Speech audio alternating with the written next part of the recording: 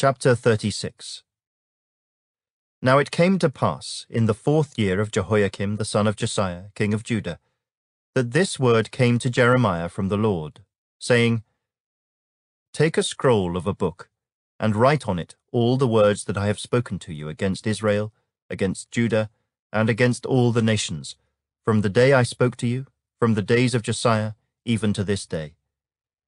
It may be that the house of Judah will hear all the adversities which I purpose to bring upon them, that every one may turn from his evil way, that I may forgive their iniquity and their sin. Then Jeremiah called Baruch the son of Neriah, and Baruch wrote on a scroll of a book, at the instruction of Jeremiah, all the words of the Lord which he had spoken to him. And Jeremiah commanded Baruch, saying, I am confined, I cannot go into the house of the Lord. You go, therefore, and read from the scroll which you have written at my instruction, the words of the Lord, in the hearing of the people in the Lord's house on the day of fasting. And you shall also read them in the hearing of all Judah who come from their cities. It may be that they will present their supplication before the Lord, and every one will turn from his evil way. For great is the anger and the fury that the Lord has pronounced against this people. And Baruch the son of Neriah did according to all that Jeremiah the prophet commanded him, reading from the book the words of the Lord in the Lord's house. Now it came to pass, in the fifth year of Jehoiakim the son of Josiah, king of Judah, in the ninth month, that they proclaimed a fast before the Lord to all the people in Jerusalem, and to all the people who came from the cities of Judah to Jerusalem. Then Baruch read from the book the words of Jeremiah in the house of the Lord, in the chamber of Gemariah the son of Shaphan the scribe, in the upper court at the entry of the new gate of the Lord's house, in the hearing of all the people.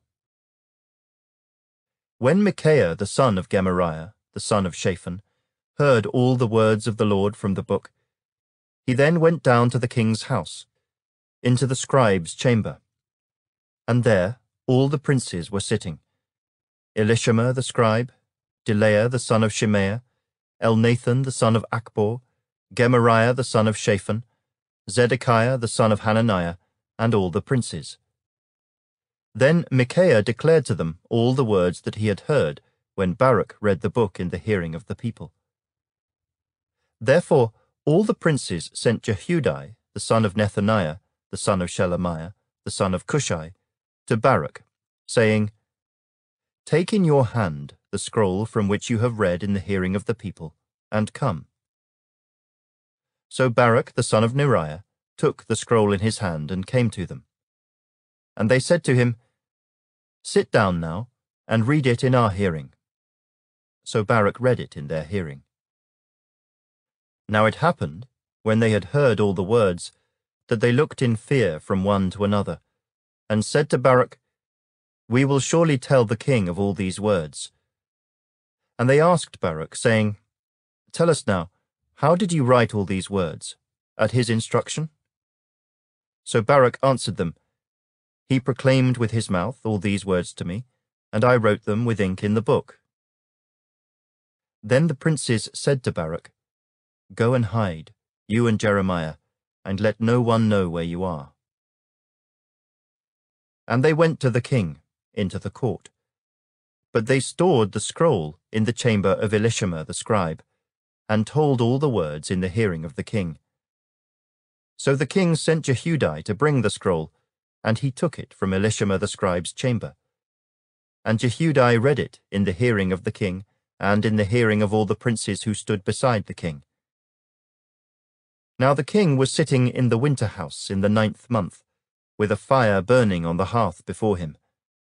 And it happened, when Jehudi had read three or four columns, that the king cut it with the scribe's knife, and cast it into the fire that was on the hearth, until all the scroll was consumed in the fire that was on the hearth. Yet they were not afraid, nor did they tear their garments, the king nor any of his servants who heard all these words.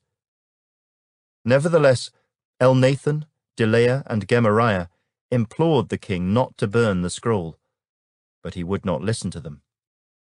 And the king commanded Jerahmeel, the king's son, Seraiah the son of Azriel, and Shelemiah the son of Abdeel, to seize Baruch the scribe and Jeremiah the prophet. But the Lord hid them. Now after the king had burned the scroll with the words which Baruch had written at the instruction of Jeremiah, the word of the Lord came to Jeremiah, saying, Take yet another scroll, and write on it all the former words that were in the first scroll which Jehoiakim the king of Judah has burned. And you shall say to Jehoiakim king of Judah, Thus says the Lord, You have burned this scroll, saying, Why have you written in it that the king of Babylon will certainly come and destroy this land, and cause man and beast to cease from here? Therefore thus says the Lord concerning Jehoiakim king of Judah, he shall have no one to sit on the throne of David, and his dead body shall be cast out to the heat of the day and the frost of the night. I will punish him, his family, and his servants for their iniquity. And I will bring on them, on the inhabitants of Jerusalem, and on the men of Judah, all the doom that I have pronounced against them, but they did not heed.